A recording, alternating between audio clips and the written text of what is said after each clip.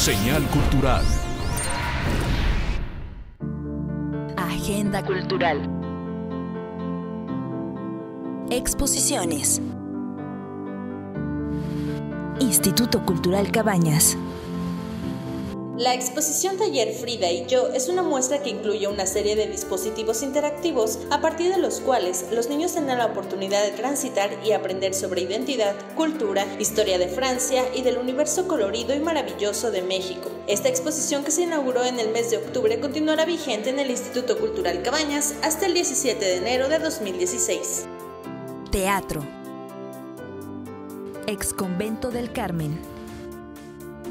La pastorela según Bartolo el Borrego cuenta el caso de dos pastores y su holgazán borrego Bartolo, que se encontraban alejados del campamento. Este trío es invitado al nacimiento del niño Dios por parte de un ángel que, castigado por su mala conducta, es encomendado a visitar a todos los pastores separados del grupo. Se trata de una obra de teatro que se aleja del concepto tradicional de pastorela y podrá disfrutarse en el Foro Ágora del ex convento del Carmen este sábado 19 de diciembre a las 18 y 20 horas.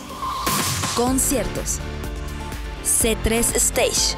El próximo viernes 18 de diciembre, Siddhartha se presentará en el C3 Stage para celebrar la posada de RMX y presentar su más reciente material, El vuelo del pez, además de contar con la presentación de Baltasar.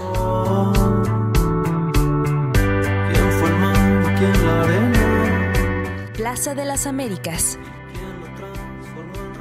El Festival de Zapopan a Belén clausurará sus actividades el próximo domingo 20 de diciembre en la Plaza de las Américas con la participación de la cantante Eugenia León, quien cerrará el evento con su concierto Navidad en las Américas. Eugenia León, quien se hará acompañar por la Orquesta Sinfónica de Zapopan dirigida por Allen Vladimir Gómez, cantará piezas navideñas y algunos de sus éxitos ampliamente reconocidos.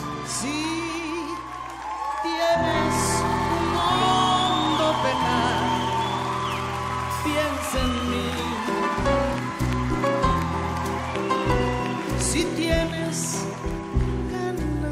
llorar, piensa en mí.